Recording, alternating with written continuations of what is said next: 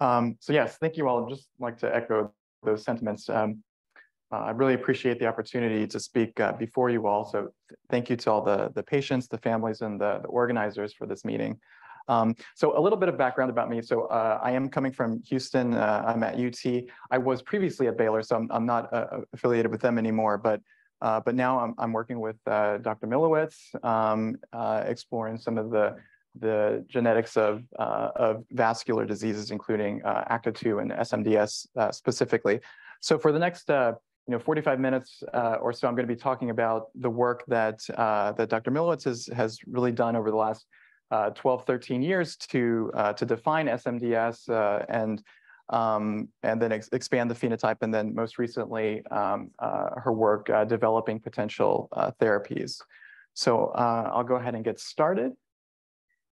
Okay, so I, I don't need to uh, tell you all uh, about the, the major complications associated with SMDS, but um, uh, the ones uh, you know that that I'm going to focus uh, on are the uh, the cerebrovascular phenotype, so the the early onset strokes due to the moya-moya-like problems. Um, we know about the the thoracic aortic aneurysms and dissections, as well as the the problems with the lungs. Um, so I know we're going to hear a lot about the, the aortic disease and, and uh, about the lung disease uh, later. And so I, I, won't talk about those specifically, but, um, uh, but today's uh, talk is going to be uh, about the, the moya-moya-like phenotype, the cerebrovascular disease. Um, you know, SMDS does certainly affect other systems, including the, the gut, the bladder, the eyes, et cetera. But but for, uh, for this talk, I'm going to be focused on the, the stroke um, and the, the moya-moya-like phenotype. So, uh, so as uh, was stated earlier, um, uh, Dr. Milewicz has been uh, very active in in uh, the SMDS condition. you know, she her paper from I think this was 2010 was the first that defined uh, SMDS uh, uh, due to these de novo ACTA2 mutations, the R179 uh, mutation. And, uh, and she's, uh, she and her lab members have, have expanded the knowledge um, about SMDS. And this, this paper came out in, I think this was 2018, and it was led by Ellen Regalado, who, who was a past member of Dr. Milewicz's group. Um, and she defined kind of the natural history of, of SMDS, as well as some of the management recommendations. So, uh, so this was about five years ago, and we've uh, we've learned certainly um, a, a, lot since then.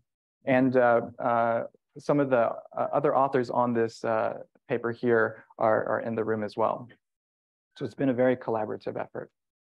So these are just some of the the other uh, papers uh, that uh, have come out of the, the Milewicz lab focused on ACTA2 and specifically SMDS. So I mentioned the original 2010 paper that defined uh, SMDS, um, but then uh, subsequent papers that described the, the, um, the, the, gut uh, phenotype, the further defined the cerebrovascular phenotype, uh, the eye findings, um, and then uh, uh, some papers describing the, the molecular defects associated with specific ACTA2 mutations, um, and then uh, I mentioned the, the, rec the uh, re recommendation paper, the management recommendation paper. Um, and then more recently in 2022, uh, a paper uh, that was uh, by one of the, the MD PhD students, uh, really expanding the, the, the ACTA2 phenotype to include other, other mutations. Um, and then most recently, um, Dr. Callie Kwartler, one of the other members of Dr. Milewicz's lab, has been doing a lot of work uh, describing um, really the, the underlying uh, kind of molecular defects uh, that give rise to SMDS, um, uh, specifically related to uh, smooth muscle cell differentiation. So I'm actually going to be talking quite a bit about that because it's relevant to, to the development of, of potential therapies. So what causes M SMDS? So I don't need to tell you all that. Uh, it's due to uh, specific uh, a specific mutation in ACTA2, this R179, so arginine 179, uh, to a, a, different amino acid. Um, and ACTA2 is the gene, and it produces a specific protein. So that's the um, smooth muscle uh, alpha actin uh, that's, that's, present in smooth muscle cells. Um, and so just taking a step backwards, what are smooth muscle cells? So, you know, these are these are uh, muscle cells uh, that are present in a specific type of muscle, uh, smooth muscle, uh, that's present in uh, in all sorts of different structures. Um, but in this um, in this context, we're mainly talking about the smooth muscle cells that are in the walls of arteries and um, and specifically they're in that um, these smooth smooth muscle cells are in the uh, the middle layer of um, of the aortic wall. And recall that that uh, wall is composed of three distinct layers. So there's the inner intima, uh, which is actually what's in contact with the blood. Um, and then you have this kind of thick, um, thick medial layer um, that contains different proteins, um, but mostly is filled with these smooth muscle cells. And those muscle cells uh, contract in response to the pulse pressure that's coming through. Um, and then you have this outer adventitial layer. So uh, in, in the normal, um, uh, normal healthy vessel, these three uh, layers are, are distinct and uh, they, um, they you know, construct the, the wall of, of the, the artery and, uh, and then uh, there's a channel um, open that we call the lumen through which blood flows. Uh, but in, in individuals that have uh, the moyamoya um, like phenotype uh, in SMDS patients, uh, what we think is happening is that these smooth muscle cells in that thick medial layer, that they are um, proliferating and migrating out of the media into the lumen. So forming what we call a neo-intima or new intima. And if enough of those cells migrate out into the lumen, uh, eventually it can block off um, uh, the, the flow through, uh, through that vessel, uh, giving rise to ischemia and eventually stroke. So, um, so that gives us an idea of uh, you know, what we can try to target with different therapies, uh, you know, basically to try to reduce that, that migration of those smooth muscle cells out of the, the medial layer. So what is different about um, the ACTA2 alterations that cause SMDS? Well, um, we know that uh, different ACTA2 mutations give rise to, to all sorts of different uh, uh, phenotypes, um, uh, which were uh, described in, in, this paper that I'll talk about uh, in a little bit more detail from, from our group. Um, but it seems that in terms of the, the full SMDS um, phenotype, it's due to, specifically to these R179 mutations. And uh, there are now uh, five different mutations. So from the arginine 179 to some other amino acid, uh, we've now identified five different ones associated with, uh, with SMDS. And so this is really the, the main uh, highlight from that paper um, describing the, the expanded uh, ACTA2 mutations and, and, their phenotypes. And, um, and what you see is that um, there, there, are, there are many different ACTA2 mutations, um, that have various degrees of overlap with the SMDS phenotype. Um, but it, it does appear that in terms of uh, the most severe phenotype, so including you know, the PDA, the, the uh, moya-moya-like uh, cerebrovascular disease, the aortic disease, pulmonary disease, et cetera, that, uh, that seems to be uh, found uh, mainly with these arginine 179 mutations. Um, so, but there is overlap with, with other uh, mutations as well. Okay, so how does a single genetic uh, alteration cause such diverse and diffuse vascular disease? Um, and so that's something that, that we're very interested in, uh, in understanding. And uh, our hypothesis is that, uh, that in, in the vessels, it, it has to do with the size of, of the vessels that are involved. Um, in the large, uh, the large arteries like the aorta, um, that, that the decreased smooth muscle cell contraction that results from uh, from those ACTA2, from that ACTA2 mutation uh, uh, leads to development of the aortic aneurysms and the risk for uh, dissection. Uh, however, in smaller arteries, uh, so like those um, in the, the brain that, supply the blood supply to the brain, um, we think that the, the problem is different, that it's, it's actually the increased proliferation and migration of these smooth muscle cells, as, as I was talking about earlier, uh, out of the, the medial layer into the, the lumen and then giving rise to um, uh, occlusions, which, uh, which lead to stroke and the, the moya-moya-like uh, phenotype that we see with SMDS. So um, so different size vessels uh, and different underlying mechanisms, but the same, uh, same mutation that's giving rise to both. So how do we uh, in the Milewicz lab approach studying SMDS? Well, we've developed uh, several different systems. So uh, we have uh, some cellular uh, systems as well as some uh, an animal model that, that we use.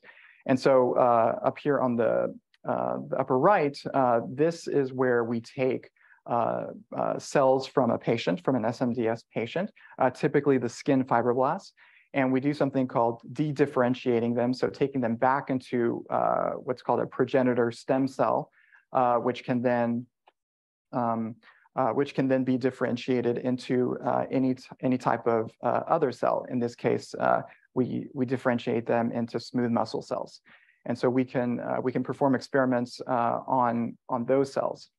we've developed an SMDS mouse model uh, where we knock we have knocked in a the R179 uh, mutation uh, specifically into smooth muscle cells uh, in these mice. Um, and then we can take uh, the aortic smooth muscle cells um, uh, from from the, the mouse or, or from the from our patients, and we can we can grow them out in culture um, uh, and, and study them in vitro. So we have uh, you know, these multiple systems that, that we use to, to better understand the underlying mechanism uh, of SMDS and to help us uh, uh, evaluate potential therapies for, uh, for, for the condition. So, so what is the underlying defect that's that's causing SMDS? So, what, what does the ACTA2 R179 mutation actually do? So, we could talk about that uh, for a long time. It could be the, the topic of a separate session entirely. Um, but this is the work that, uh, that Dr. Uh, Kwartler in, uh, in Dr. Milewicz's lab has really been focused on. Um, and she's done really some, some tremendous work uh, uh, trying to elucidate that, that underlying mechanism. Um, and she has made some, some really great um, findings. the first finding is that the, uh, the actin that's produced uh, in these smooth muscle cells. So it's smooth muscle alpha actin. Um, it's actually produced in, uh, in the cytosol, so uh, within the cell. Um, but in normal cells, so non-SMDS uh, smooth muscle cells, that actin uh, gets moved into the nucleus. where it has some important function, which, which I'll talk about in a little bit. Um, but what's interesting is that uh, in the uh, mutant cells, uh, the, those that have the R179 mutation, that actin uh, remains uh, remains in the cell or remains outside of the nucleus. It doesn't move into the nucleus. So, um, so whatever function it's having, it's supposed to have in the nucleus is not occurring because because it's not it's not physically there. And remember that the the nucleus is actually it's it's kind of the you know the uh, this, well, it's the center of the cell is the command center that, uh, that gives the guidance uh, to the cell for how it's supposed to function. So the fact that acta, uh, that actin uh, goes into the nucleus, you know, suggests that it has some important function going on there. And another observation that she made was that um, that these mutant cells with the actin that doesn't go into the nucleus that they actually um, uh, they're not actually differentiated uh, completely. So they they show what's called incomplete differentiation, and and so what does that mean? So um, so as I as I mentioned earlier, um, you know cells in in early development they they begin as these progenitor stem cells that can become uh, any any cell type, um, and uh, and then through differentiation they become uh, their final uh, cell type. In this case smooth muscle cells.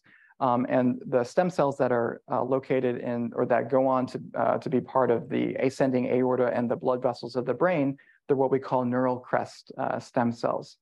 But in, um, in the mutant cells, those that have the, the ACTA2 R179 uh, mutation, uh, where the actin doesn't go into the nucleus, they actually show uh, markers uh, that they, they have a lot more in common with these stem cells. So, so they don't undergo that full di differentiation. Uh, instead, they kind of get hijacked and become uh, this altered smooth muscle cell. And they also show evidence uh, of that show findings similar to stem cells where they have increased proliferation and migration. So, um, so all of those kind of observations and findings uh, have been very uh, important in, in us uh, to develop potential therapies uh, that might uh, reduce that, uh, that migration of the smooth muscle cells out of the, the medial layer into the intima. Um, so basically targeting that differentiation that, that's incomplete in these smooth muscle cells. So, so one of the things that we um, that we observed uh, in, this is called a migration assay, uh, is that uh, these smooth muscle cells from the mutants are very active. They, they move a lot, uh, they, they migrate a lot. And that, that's what uh, we think was, was happening. And that's the, the pictures I was showing you earlier with the, the migration of those cells out of the medial layer into the intima. But this was a way of actually quantifying that. So uh, with that, this assay, when you look at control smooth muscle cells, there's some movement, um, some migration, but it's, it's pretty, pretty small. And that's what you see here at the top uh, right.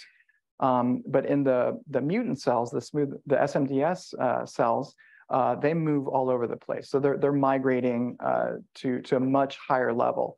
And so that, uh, that appears to be consistent with what we're thinking uh, is going on in the, the wall of these um, blood vessels.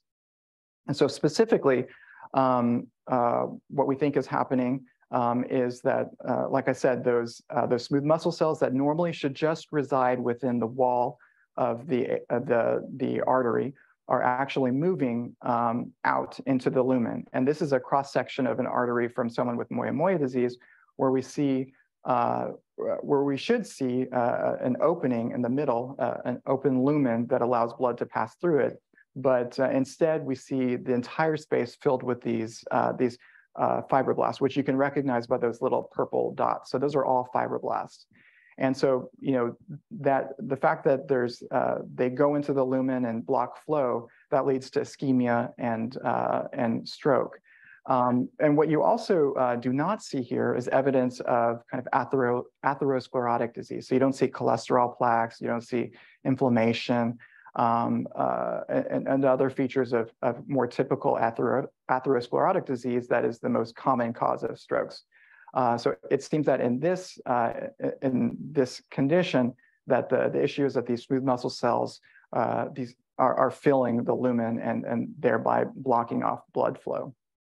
So uh, in our uh, mouse model, when we did imaging, um, we actually did not find any frank uh, occlusions like we see in, in many SMDS patients. And so to try to induce that uh, moyamoya-like uh, phenotype, we did something called carotid artery injury. So in this, we, we ligate or we tie off the left carotid artery, um, and, then, um, and then below that, you'll get stasis of blood, um, and formation of a blood clot. And then eventual, um, uh, you get uh, thickening of the, the, the, arterial wall and then movement of smooth muscle cells and blood cells into the lumen.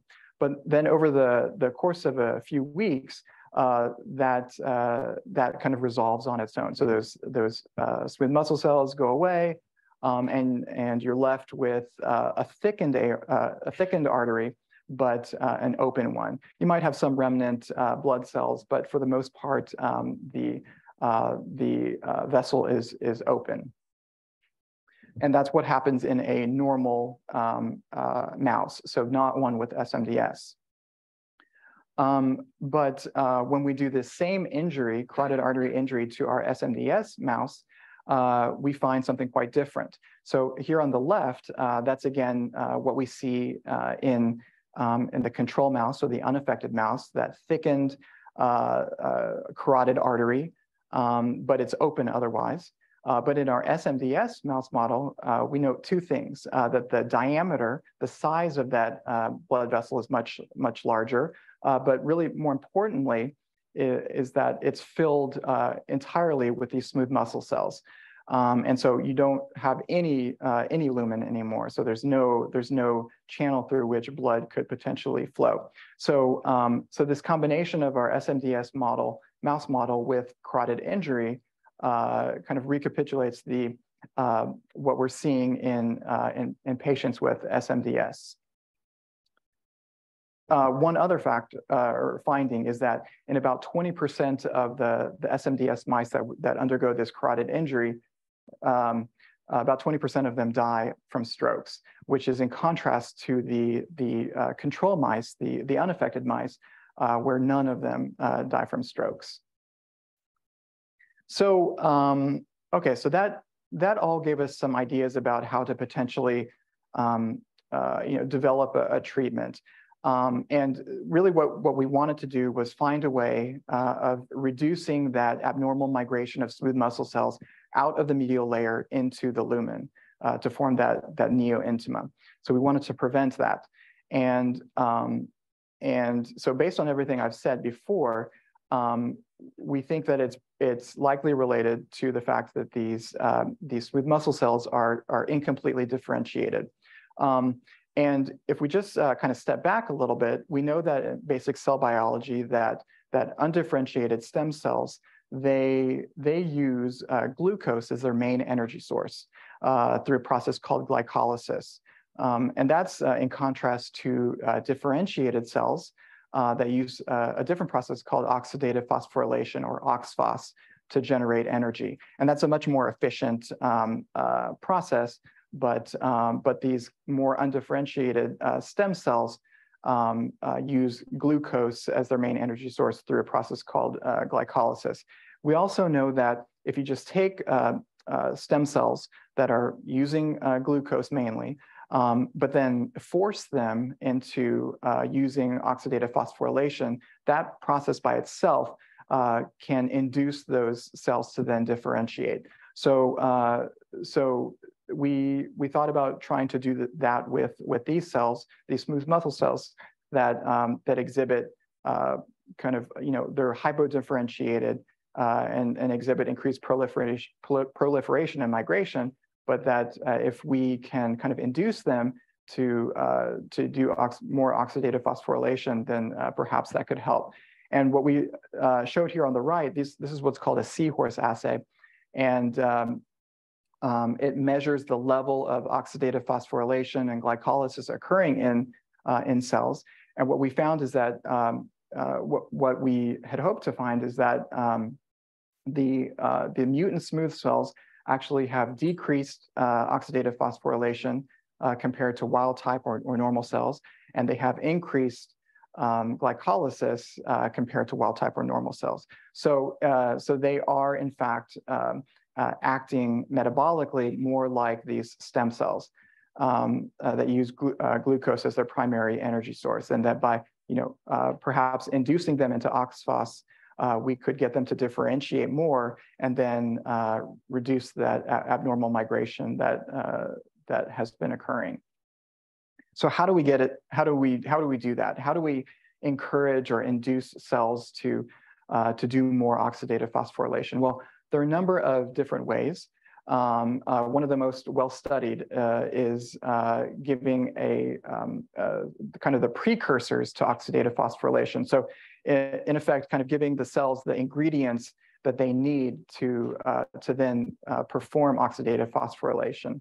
And one of the things that, that can be done or can do that is something called nicotinic riboside, which is a vitamin B3 analog and, uh, and it's a precursor, one of these ingredients for, uh, for oxidative phosphorylation. So, uh, so that was one potential strategy to, to try to induce these cells to, to undergo uh, OXPHOS and then uh, differentiate. And so this is the kind of the, the main takeaway slide in terms of what, what our, our goal was. Uh, and so taking these um, let me see if I can use the mouse here. So taking these, uh, these more uh, uh, undifferentiated smooth muscle cells uh, that have the R179 mutation. Uh, so these are, they're very glycolytic, so they use glucose as their energy source. They're very proliferative and migratory, and we think that that's likely contributing uh, to the moya-moya-like disease phenotype. But our hope was that by giving them NR, nicot nicotinamide riboside, um, that uh, that would encourage them or induce them to switch from using glycolysis to using oxidative phosphorylation. And so here at the bottom, that would take them from being this in this hypodifferentiated, proliferative and migratory state uh, that then gives rise to the, the, uh, uh the stenosis of, of those uh, blood vessels to a more differentiated and quiescent state uh, where, uh, where the lumen remains open because those smooth muscle cells uh, don't migrate and stay within, within the lumen. So this was really our, our main uh, uh, hypothesis. And then um, we found uh, in, in, our cellular model that, that NR does restore the mitochondrial function in the, the mutant mice. Um, so uh, it actually increases OXPHOS in both uh, uh, normal or wild type cells as well as the, the mutant cells. Uh, but that was encouraging um, that, uh, that giving NR to these, um, these mutant smooth muscle cells that have the R179 mutation, that, uh, that does induce them to switch over to oxidative phosphorylation. oxidative phosphorylation. in addition, um, uh, we also could quantify uh, it, the effect that that had on cell migration. And we found here uh, the, the mutant cells, the, the, the uh, SMDS cells are the ones in blue. And what you can see here is that uh, at baseline, uh, without any treatment, the, the, the bar is very high. that's representing the, the high migration that's occurring. So this is, remember those pictures that I showed you before, this is kind of a quantification of that but that uh, when you give NR to these uh, mutant cells, uh, that migration comes down uh, significantly, almost to the level of the wild type or normal cells uh, that you see here in gray. So that was very encouraging. Um, and then what about uh, in the, the, the mice, the SMDS mice that, that undergo this, this carotid artery injury? Well, we found basically similar findings. Um, uh, up here on the uh, upper left is the survival curve uh, on NR treatment. And uh, here at the top, you, there's a red and a black uh, bar. And these are the, the, the normal mice, so the wild type mice that do not have SMDS. Uh, and when you, when you treat them with NR or, you, or they're not treated, they have 100% survival as expected. Um, here in blue, these are the, the SMDS mice um, that are uh, just given what we call a vehicle, or it, it's basically uh, untreated, it's just water. Um, and uh, we see that about 20% of them die, as, a, as I mentioned earlier, uh, from, uh, from stroke. But in the, uh, the mutant mice cells that are treated with NR, we get a significant a reduction in the uh, the immediate death due to stroke. So going from 20% down to around 5%. Uh, so that's a, that's a, a nice uh, improvement uh, just in the, the immediate death due to, due to strokes. And then when you look at the actual blood vessels, uh, the, the carotid artery cross section from these uh, mice, this is what we saw earlier in the, the wild type mice. You have the thickened artery, but it's open otherwise. Uh, and then on the right, uh, you have that you know dilated uh, but completely full of smooth muscle cells um, uh, vessel.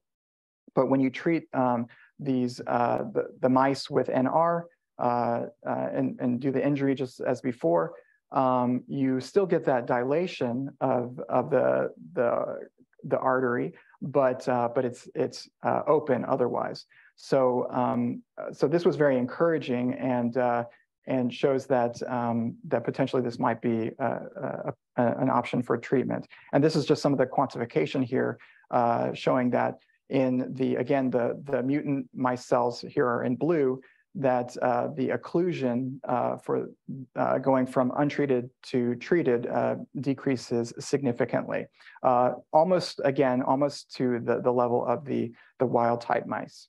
Um, and then here to the right, it, it, shows that the, the diameter, the size of that uh, artery uh, remains the same, um, which is to be expected, but, uh, but at least it's open now. So it's not occluded. So uh, I, I, you know, hopefully that will lead to, uh, to improved circulation and, and, a decrease in strokes. And then when we uh, do some imaging using micro CT, uh, here on the top, these are wild type mice that are untreated. These are the, the SMDS mice uh, that are untreated. And then here are the, the, SMDS mice that are treated with NR. Um, we see uh, a, a, few things in, in the, the untreated um, uh, mutant mice. Uh, there's a bit of um, straightening and, and some narrowing of, of the blood vessels in the brain. This is a, uh, the circle of Willis uh, that provides the circulation to, to the brain. Uh, but we see some, some straightening of those vessels um, and some narrowing. But uh, when we treat with NR, um, uh, we see uh, kind of some resolution of that of that narrowing. And when we actually quantify that, that's that's what we're seeing as well. And this is very recent results. So uh, we're going to continue looking at this, but it does seem to show evidence that when we actually look at the imaging and measure the sizes of these, uh, these blood vessels in the brain after treatment with NR, that uh, the narrowing does seem to uh, decrease. So basically the, they're, they're more open uh, for blood flow.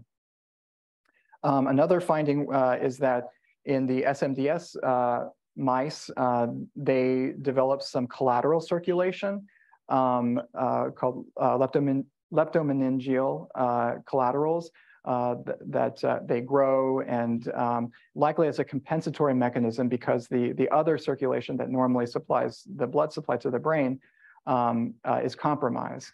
Um, and so the, the, the, the mice compensate by, um, by using these, these alternative blood vessels, this, these comp compensatory um, blood vessels. Uh, but that in when we treat with uh, NR, uh, that um, remodeling uh, kind of uh, those collaterals uh, don't develop to the same degree. And it's likely because they're no longer, it's no longer needed because the, the normal circulation is more open and thus these collaterals don't have to develop. Um, so what about some other strategies to try to uh, induce these smooth muscle cells to go from glycolysis, glycolysis to oxidative phosphorylation? So I, I mentioned the NR, uh, which again is, is a, a, precursor uh, to OXPHOS. Uh, but another strategy would be to actually um, uh, deprive the cells of the glucose that, uh, that they, they want to use. And that kind of forces them into using oxidative phosphorylation. And, uh, and we can do that by uh, using something called galactose, uh, which is just substitutes for glucose, but, um, but it, it effectively is, is uh, depriving the cells of that glucose energy source and forcing them into using OXPHOS. And when we do that, um, we find that uh, indeed the, uh, the oxidative phosphorylation increases um, in, in these mutant cells, uh, and the glycolysis uh, goes down, uh, which, which we would expect. And then just like I showed uh, before with the NR, we also see that migration decreases. Um, this, this graph looks almost identical to, uh, to the other one, showing that the, the migration uh, goes from very, being very high in these untreated mutant cells to, to nearly the level of, of wild type cells when you deprive them of, of glucose. So that's an, another uh, strategy. So what about the bladder and gut? So this is something that that's very new, uh, new results and, and something that we're exploring uh, more in depth now. But the major actin isoform in the gut and bladder smooth muscle cells is uh, something called gamma-2 actin, which is encoded by the ACTG2 gene, so a different gene. Um, and we, we have found that in explanted aortic uh, smooth muscle cells that gamma-2 actin is expressed, but at, at fairly low levels but in the uh, in the in normal smooth muscle cells, but in the the SMDS uh, mice, uh, there's almost uh, zero expression.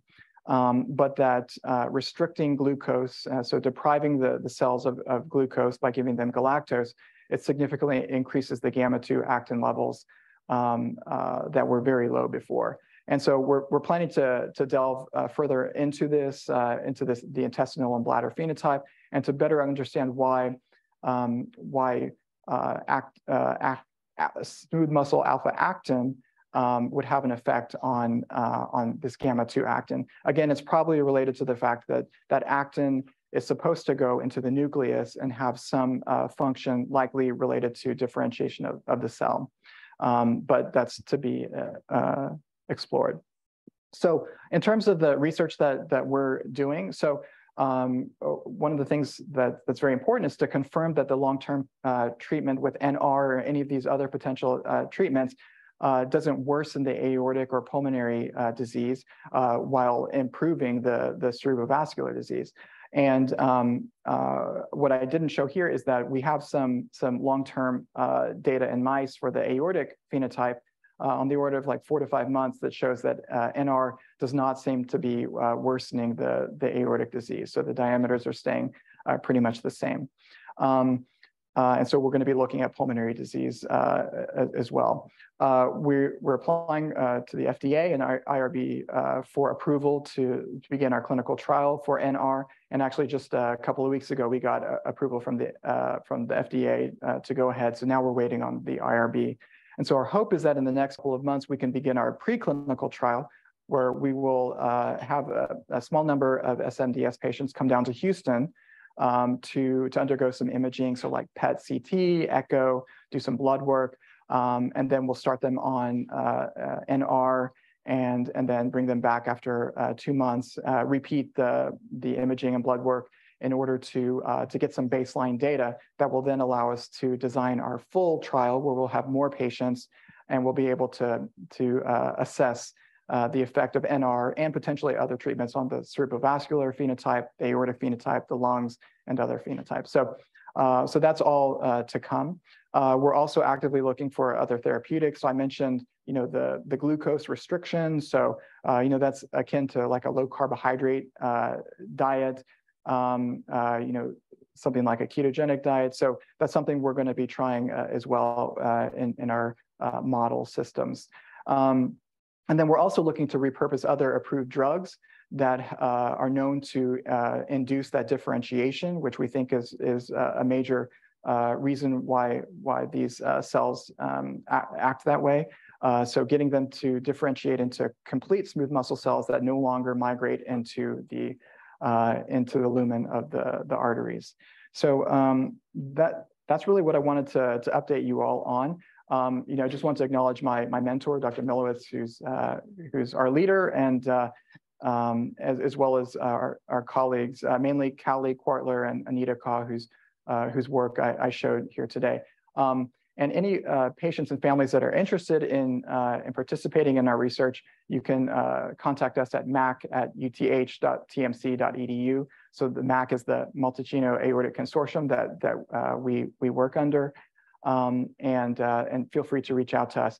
Um, and lastly, um, so the, the John Ritter Foundation, that's another foundation that, that does a lot of education and research towards, um, towards aortic, uh, genetic aortic disease. So they're looking for a couple of uh, volunteers uh, from families that are affected uh, by SMDS uh, to join to join them um, for their efforts. And uh, you can you know come up to me and ask me you know for their contact information. I didn't I wasn't able to add it here, but it's basically info at johnritterfoundation.org. Um, but you can come up to me afterwards. Um, I'll have some flyers if, if you all want to take them uh, that has our contact information. But uh, and I'll be here all throughout the day and at dinner. So if you have any questions or follow up, uh, feel free to come up and, and ask me. So uh, thank you again. And uh, you know I'll take your questions now.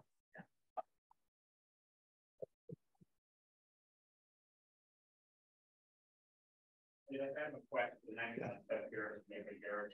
Yeah. Um, both the NR and the NAD are available as over-the-counter supplements, from what I understand. Can you comment on whether or not the dosages that you have been uh, experimenting with are higher dosages, or would be similar to what they were on sort of over-the-counter medications? Right. Um, I mean, I can speak to that a little bit. What I do know is that the the the dosages were uh, were fairly high in the in the, the, mice compared to kind of what's been um, studied in humans, and so that's something that we're we're uh, exploring. We're we're trying to get what is the the right dose uh, to use, um, and uh, is is there is there a benefit to to increasing it uh, more towards what we're using in the in the mice, or or is kind of what's been used traditionally been uh, sufficient? So uh, so that's kind of part of you know we're we're getting the baseline data on on kind of the you know the more typical human dosages and seeing what kind of effects we get there and then we'll we'll design you know our our uh, clinical trials based off of that information. But that's that's a very good point. And my uh, follow up to that is from my reading, NR and NAD has some impacts on cholesterol, high blood pressure. They're also looking at it for Alzheimer's yeah. treatments. It has a range of therapeutic properties. Right. None of them, I guess, have been fully vetted.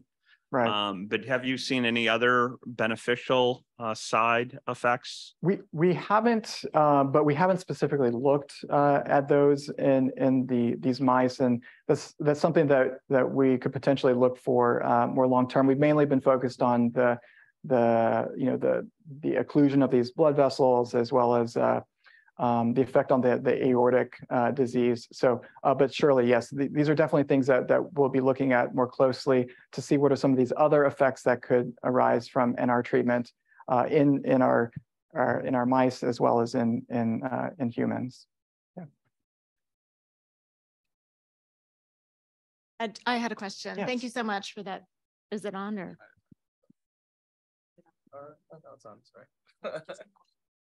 Thank you. That was a great presentation. Thank you. I had a question. Um, I understand that the sort of target of NR is to increase flow to the lumen. It doesn't really change the availability of the protein, of course. Um, and so you're still left with a contractility issue. And in the um, slide that you showed about uh, sort of effects of treatment in the mouse, I noticed that the um, uh, treated slide that you showed uh, still left after the effect of the NR, the uh, mouse, um, so yeah, there, uh, the, the treated NR still looks uh, misshapen and quite dilated. And so I was curious, even in your sort of best slide, what you would speak to about the consequences of, you know, a treated uh, sort of NR that still looks you know, misshapen and dilated as a consequence of not having proper contractility. Right. Yes. We. The honest answer is we don't know. We don't know if uh, what what affects the dilated blood vessel will will have if there will be any negative effects. We we hope that it will not uh, because we're we're really trying to to get it as open as possible uh, to to allow blood flow uh, through. Um, and so, you know, again, these are these are things that we'll be we'll be following uh, with more long term with with our mice models, um, and, and and looking at other uh, blood vessels as well. So, um, you know, we don't know. Um, you know, it does remain dilated, um, but at least it's open, and um, you know, so there, um, you know, it's perhaps it's not a you know complete resolution, but uh, but this might be kind of a complementary treatment, you know, to, to other things, and you know this might be an important piece. And you know if we can, uh, but we're really trying to improve the flow here, and, and we think that this is a, a an encouraging you know sign. But uh, but clearly there are other things that that we'll need to look at and, and make sure that we're not causing another problem by uh, by using this. You want to go? Question online? Oh, question online. Yeah, go Yes, ahead. we have a question online. Does NR treatment primarily help to prevent or can it also help resolve blood vessels that have already been impacted? So that's a great question. I forgot to mention that. Uh, I, I wanted to. So so the answer is we we don't know yet, but but that is something that we are doing right now. So we so this uh, what we do here with the the injury model in these mice is uh, we give them the NR at the time of the carotid injury. Uh, so it it it doesn't uh, it, it, prevents the the formation of these these occlusions within those those uh, within the carotid artery. But what we don't know is that in in already occluded um, uh, cells or are already occluded vessels, if if we can then give NR at that time, and if that will help to resolve some of that uh, that accumulation, make those fibroblasts that are in the lumen already uh, leave. So that's something that we're that we're actively working on right now. Uh, but that's a very important question and uh, and something that we're that we're addressing. We hope we hope that it will. Uh, because again, we what we think is happening is that these these smooth muscle cells are, are becoming more differentiated, and so kind of no longer being that in that hyper hyper proliferative and migratory state, um, and and more in that uh, quiescent state. Um, and so, you know, hopefully that uh, that will uh, make them leave and uh, open up those blood vessels. But we don't know, but it's something that we're, we're actively working on. I have a, a comment. Thank you so much. The the way that you walk us through uh, what's really happening, and and so you guys are very experts already, but thank you for doing that. It's going to help every single presentation from now on. So thank you, Dr. Murdock, for for instructing us in such a, a amazing way. So as you guys been hearing, there are different problems in different parts of the system. I think what is very important, they're trying to address one issue that is critical, that is associated with the strokes. And we are all going to be learning. And as you walk through the conference, the different parts of the disease and how a treatment may be focused to affect the smooth muscle cells and the ACTA2 dysfunction in different organs and different things. Um, and what, one thing that they are trying to do, and he showed the data, is make sure it's not toxic. So in the process of doing this, we have a, to pay a price somewhere else. Uh, so that's going to be a theme, I think, throughout any research done in your disease. You got to focus somewhere because your disease is very complex. So you risk not being able to do any meaningful things. And you can think about the children that we know, the adults that we know, and how something like this could be very significant. Getting the gut to move may be very significant for some others. Getting the aorta from not dilating is going to be significant. So I think incredible efforts. Um, also, the legacy that Dr. Milewicz in discovering the disease, making the community like all the stuff that is happening is is literally her work and many many many others that she has recruited to this so my thank yous to her to her to have you to come to the team uh, and to come here. Uh, she's currently at another research conference uh, where they put a consortium uh, to really go after all the aortic mutations, and it's called the Duke Consortium. Um, I have a question about the clinical, if it's allowed, just briefly. Um, there is two months is quite a short amount of time, as we know, for any vessel to remodel, okay, to do anything. Um, is the intent to see if you have signal mostly in the plasma? And the second question associated with that is why CT? Is it going to be adult study? Is it going to be kids study? We try to use MRAs, sure. not CTs when we are doing exploratory stuff. Okay. And yeah, so uh, so excellent questions. Um, so really the, the goal of the preclinical trial would be to to get some baseline data. So not so much to prove uh, efficacy, but make sure that by um, by starting NR uh, that, that we're not causing any immediate toxicities um, and, and other potential problems. Um, so, um, so the imaging that we're going to be doing is uh, PET CT. So uh, not not a full uh, CT scan, uh, but but a PET CT. And and so we have uh, we we have a, a, patient with SMDS that that actually had exhibited increased glucose uptake in the aorta. Um, and so uh, measured off of, of a PET scan. And so we're, we're seeing that really we're trying to see if giving NR will reduce, if we can see a signal of reduced glucose uptake uh, off, of, off of the PET. Um, and, uh, and, you know, later, you know, after long-term treatment, then we can start to measure, you know, the sizes of the, of the, the vessels.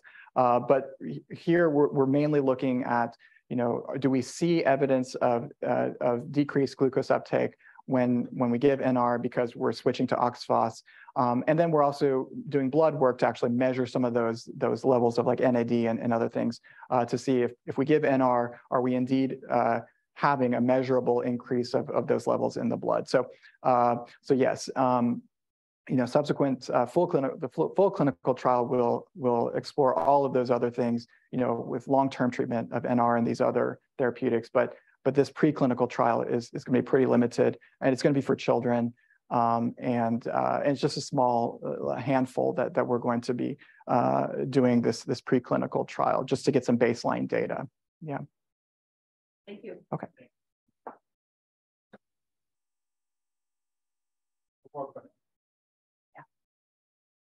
Hi. Oh. Introduce yourself when you speak. I'm okay.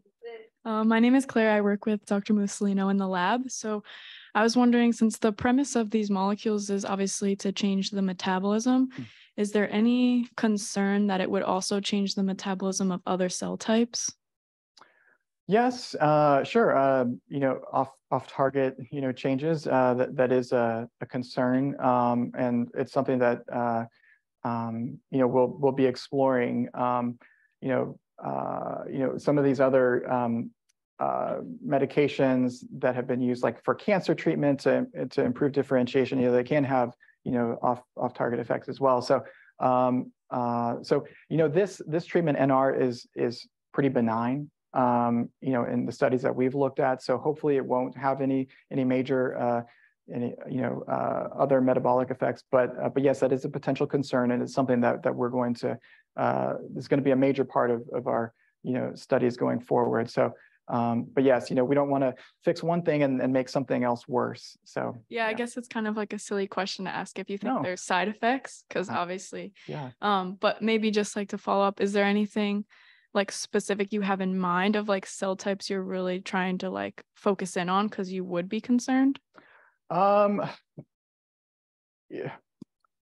Not that I can think of right now. I mean, we're mainly focused on these these uh, smooth muscle cells, um, uh, but um, you know, from from the the blood vessels, the the aorta, you know, we're going to be uh, you know also trying to to do cells and uh, studies on smooth muscle cells from the gut and bladder as well. Um, but um, but you know, I uh, that's some that's to be determined. Um, but uh, yeah, I, I don't have a great answer for you uh, in that for I that. Compliment from, there's chronic ataxia, kids that have significant. Right, issues, yeah. That it's, it's, sorry, Patty Musolino. Um, there, there have been a lot of trials on metabolic disorders, including mitochondrial diseases and Friedreich's ataxia, and Mm. that have been very well tolerated. It didn't show a- an effect that was significant. That's why it's not part of the treatments as a recommendation. But the one thing that I think you could say is is going to be pretty safe Mhm. to expose anyone to Right. NR Right. um, with this condition. Always remember safety is about your particular body. So you have to put the disease in question, but Right. I, I feel comfortable saying that Yeah. it will be safe. Yeah, and then you know the the low carbohydrate, um, you know, depriving glucose. You know, the ketogenic diet has been has been used for a long time for kids with seizures. Uh, you know, so I mean, you know, we have some potential therapies uh, or approaches that we can use, and and so uh, I think I think the um, I think all these results are very encouraging, and uh, but we do clearly have more work to do to make sure that it's safe um, uh, for these for these patients. Okay, thank you.